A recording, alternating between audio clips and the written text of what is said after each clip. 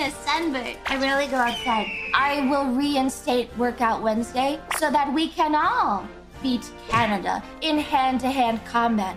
They have to fight polar bears every day. What are we fighting? Obesity? Terrible. Workout Wednesday is back in practice. If you are not working out on at least Wednesday, you will be fired from life.